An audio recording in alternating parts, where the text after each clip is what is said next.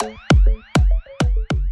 Kendall Jenner y Devin Booker le dan una segunda oportunidad a su amor. Así planea olvidarse de Bad Bunny. Así como le escucha, si es que como el mismo Devin lo comentó el año pasado, él no creía ni por un minuto que la relación entre Kendall Jenner y Bad Bunny fuera lo suficientemente seria para que durara muchísimo tiempo, por lo que al parecer jamás perdió la esperanza de que en algún momento la supermodelo le volviera a dar la oportunidad de conquistar su corazón. Y al parecer eso es precisamente lo que sucedido en este momento, o al menos eso es lo que piensan los fans después de que supuestamente una amiga de Kendall Jenner filtrara accidentalmente una pista de que ella ha regresado al lado de su exnovio, el basquetbolista Devin Booker. ¿O qué fue lo que sucedió? Resulta que este fin de semana se dio a conocer que tanto Kendall como Bad Bunny habían sido vistos en el Super Bowl disfrutando del juego. Sin embargo, la pareja no pasó ni un solo minuto juntos. Incluso se sentaron en lugares completamente diferentes. Sin embargo, en un giro inesperado de los acontecimientos, ¿con quién se pasó tiempo Kendall? Nada más y nada menos que con su exnovio Devin Booker, ya que la pareja estuvo sentada en la misma suite y aunque no hay imágenes de ellos juntos, se rumora que sí se la pasaron muy bien. Kendall estuvo acompañada todo el tiempo de su hermana Chloe y de su hermana Kim, así como de sus amigos Hailey y Justin Bieber, quienes como los fans recordarán, siempre han conservado su amistad con Devin. Esta información se filtró después de que Kylie Rubin compartiera una fotografía en Instagram desde su suite privada y, oh sorpresa, quien estaba detrás sentado comiendo en una mesa mientras miraba el juego, precisamente Devin, por lo que de inmediato los fans unieron los puntos y se dieron cuenta de que los chicos habían pasado el tiempo juntos. Como te imaginarás, los fanáticos no necesitaron más detalles para acudir rápidamente a plataformas como Reddit y especular sobre cómo Devin y Kendall estaban nuevamente juntos. Curiosamente, hasta el momento, ninguno de los dos ha hablado al respecto, pero a mí me encantaría saber tú